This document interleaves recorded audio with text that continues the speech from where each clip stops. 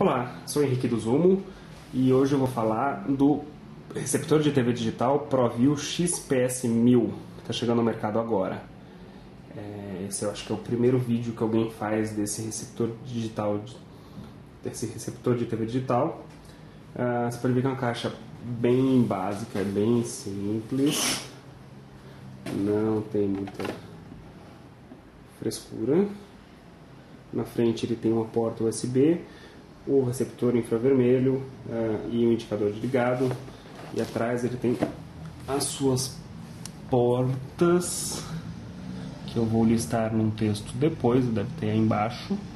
Pode ler, tem áudio saída V, tem entrada de antena, tem uma porta HDMI, uma porta Ethernet, vídeo componente, áudio, áudio óptico. É, hoje ele está ligado a uma antena de TV comum. E eu vou mostrar ligado a uma TV de 20 polegadas simples, nada de Full HD. Uma TV simples e como funciona. Ah, pra você ter uma ideia, a última vez que eu mexi com uma TV digital foi em, em janeiro deste ano. Ah, ela pegava, sei lá, uns 12 canais.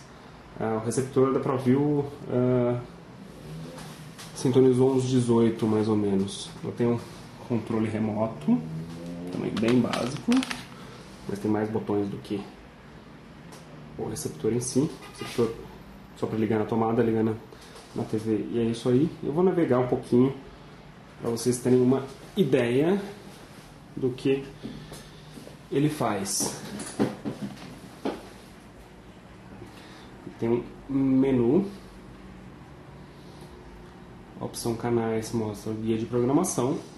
Pode ver os canais que estão sintonizados aqui. TV Justiça, Univesp, Cultura, SBT HD, Globo HD, Record HD, Rede TV, Rede TV, Gazeta, Gazeta, Mix TV, Mix TV, Canal 21, 30 é MTV, não está aparecendo a informação, não sei porquê.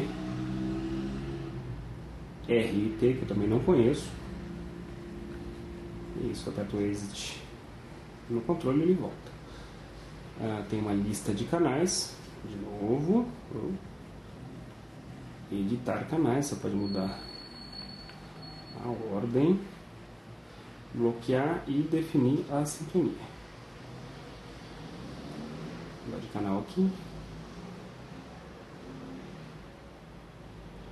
Pode ver aqui na tela, Vou mudar de novo. É, veja ali no canto é, direito que ele mostra o sinal da TV. Mas não é isso que importa agora. Vamos voltar ao menu. Ele tem alguns aplicativos da internet. Ele não está ligado a uma rede agora, então ele não vai funcionar.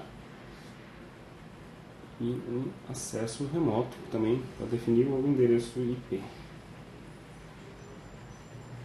Configuração: é, você consegue definir a transparência do menu na tela de 20% a 80%, você vê agora quase não dá para ver.